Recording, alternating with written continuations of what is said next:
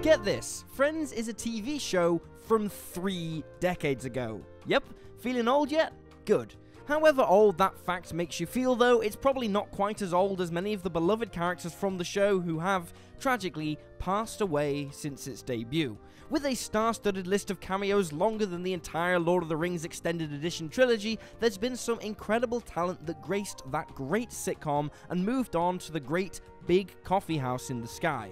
With Friends still remaining a frequently broadcast and relevant show even today, it's high time we pay a little tribute to many of the people who made it so. I'm Will for WhatCulture, and here are 12 Friends actors who are no longer with us. 12. Taylor Negron. Negron started off in comedy while still in high school, before later making the move into acting. He made appearances in films such as The Last Boy Scout and Fast Times at Ridgemont High, while also making memorable guest appearances on a number of hit TV shows, including Seinfeld and ER. His last television credit was on The Comedians alongside Billy Crystal. He was sadly diagnosed with cancer in 2008 and passed away aged just 57 at the beginning of 2015. He appeared in the Friends episode The One Where They're Going to Party, as Alessandro, the owner of the restaurant of the same name. He comes to complain when Monica writes a negative review of his restaurant and ends up offering her a job as head chef. Although he didn't appear again, Monica did work at Alessandro's until season 9, so he was always a big part of the show. 11. Peter Dennis. Peter Dennis enjoyed numerous roles across film and television, including the likes of Sideways and The Avengers, the non Marvel one, but he'll be best known for performing the works of A.A. Milne on stage, which he did for 30 years in his one man show Bother, The Brain of Pooh, and in various voice recordings for audiobooks. He was diagnosed with cancer in 2007 and passed away in 2009, aged 75. He played Sherman in The One Where No One's Ready, once the gang finally get out of Monica's apartment and to Ross's function, he's the one who then has the last gag by taking Chandler's chair, telling them that he left the seating area. The episode also featured a nod to his work, with Chandler's line to Joey, in the words of A.A. Milne, get out of my chair, dillhole. 10. Paul Gleason. Gleason came to attention with a recurring role on long running soap opera All My Children, playing Dr. David Thornton from 1976 to 78. After that, he went on to appear in a number of successful films in the 80s, with notable roles including Deputy Police Chief Dwayne T. Robinson in Die Hard, and of course Richard Vernon, the assistant principal who presides over detention in The Breakfast Club. He died of lung cancer in 2006, age 67. In the one that could have been part 2, when Phoebe tries to return to work after her heart attack, it's up to Gleason's character Jack, her boss in this reality, to break the news to her, causing her to have yet another heart attack. 9. Beverly Garlands. With a career spanning 40 years, Beverly Garland appeared in a huge number of films and TV series, although mostly in smaller roles. Her two biggest were on My Three Sons as Barbara Harper Douglas and Dottie West on Scarecrow and Mrs. King. She passed away in 2008, aged 82. In Friends, she played the no nonsense Iris, aunt of Monica and Ross, who teaches the girls how to play poker so they can beat the boys in the one with all the poker. She wasn't particularly pleasant to the girls, displaying her cutting wit even in her brief appearance. 8. Audra Lindley. Another on this list who had an extremely lengthy career, Lindley worked her way up the Hollywood ladder. She started as a stand in, then a stunt woman, and finally started getting roles of her own. Her most recognised is that of Helen Roper, the landlady on the sitcom Three's Company, and later its spin off, The Ropers. She passed away of leukemia in 1997. She appeared in Friends in 1995, making it one of her final appearances on screen. In the one with Phoebe's dad, she plays Frances, the woman Phoebe believes to be her biological grandmother, although it later turned out that she was her adoptive grandparent instead. Although she only appeared in that one episode, Frances is mentioned throughout the first few seasons. She is the person Phoebe lived with, and it was from her she inherited the yellow taxi. 7. Alaina Reed Hall. An actress and singer, Alaina Reed Hall is probably best known for her work on two long running TV series NBC sitcom 227, where she played Rose Lee Holloway, and Sesame Street, where she appeared as one of the human characters. She died of breast cancer aged 63 in 2009. She appeared in Friends in the season 1 episode The One with Two Parts, Part 2. And her character wasn't actually given a name, instead credited as Admissions Woman. Although a small role, she managed to make it memorable, with her slightly scary, very sassy hospital admissions woman, especially when it came to dealing with Monica, who was pretending to be Rachel at the time.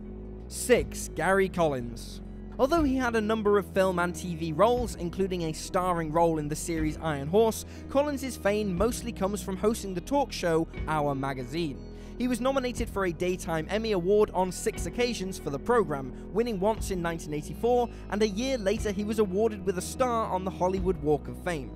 He passed away from natural causes in 2012, age 74. And in Friends, he played himself. Gary Collins played Gary Collins in the one where Phoebe hates PBS, as the host of a telethon, a role Joey thinks he has before it turns out he's just one of the phone operators. He may have got the role ahead of Joey, but he is at least suitably impressed with his tux. 5. Phil Leeds. Phil Leeds was a true character actor, mostly defined by his wizened features. Among the films and TV shows he appeared in are Ghost, Rosemary's Baby, and Ally McBeal. He looked just like the kind of person you'd expect to find in a New York neighborhood, which made him a great fit for a small role in Friends. He died of pneumonia in 1998 at the age of 82. Leeds only briefly appeared on the show, making a cameo to have a conversation with Phoebe in Central Perk during the one with the lesbian wedding. Phoebe has been possessed by the spirit of his wife, who died on her massage table, and he informs her that she wanted to see everything before she died. Phoebe goes all over New York trying to put her spirit to rest, but it's not until Carol and Susan's wedding that Mrs. Adelman has, quote, seen everything.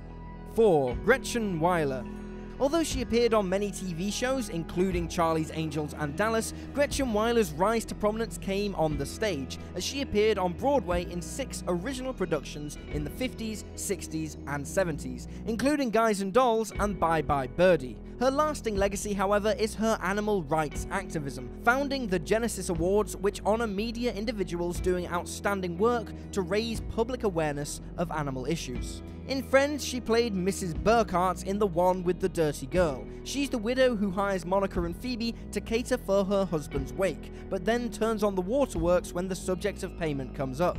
She got to show off her Broadway talents as well, singing and dancing when Monica was out of the room. 3. Dick Clark a legendary television personality who was the host of American Bandstand for 30 years, Dick Clark introduced new genres and artists to large parts of America, including rock and roll and the likes of Stevie Wonder and Simon and Garfunkel. He was also famous for hosting Dick Clark's New Year's Rockin' Eve, which broadcast live from Times Square and created the American Music Awards. He died after a heart attack aged 82.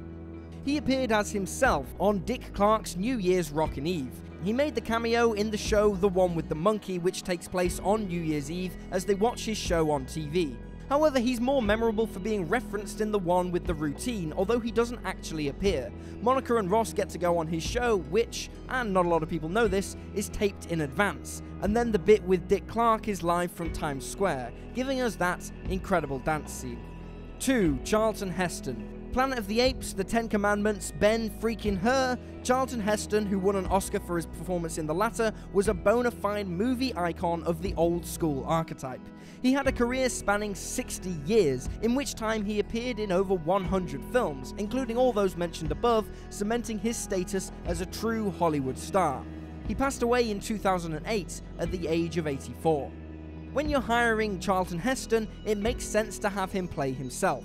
He's the star of a movie that Joey has managed to land himself a part in, and it's his shower that Joey tries to use when he stinks. This leads to a great interchange between Heston and Joey, who is clad in just a towel at the time, when the former thinks the latter means his acting is bad, rather than he literally stinks, before a final switch when he goes from offering sage advice to threatening him about using his shower. It's a small scene, but he really makes his presence felt. 1. Robin Williams Robin Williams really doesn't require an introduction. One of the all time great comedic actors, and an excellent serious one too, there was genuine shock and sadness when William passed away in 2014, aged just 63. After breaking through as a stand up with rapid fire improv skills, he broke into acting and went on to star in a number of critically acclaimed and beloved films, including Good Will Hunting, Aladdin, Dead Poet Society, Mrs. Doubtfire, Jumanji, and Hook, to name but a few. Williams and Billy Crystal appear in the one with the Ultimate Fighting Champion, in one of the rare episodes where outsiders are sitting on the couch in Central Perk. They play Thomas and Tim respectively, who ask the friends to move along so they can share the couch, and then proceed to have a conversation about Thomas's belief that his wife is cheating on him. It's a funny scene, especially as the bewildered friends eavesdrop on their conversation, but made even better by the fact that it was totally unscripted. Williams and Crystal had been working on their movie Father's Day in the same building, so the producers asked if they wanted to make a cameo.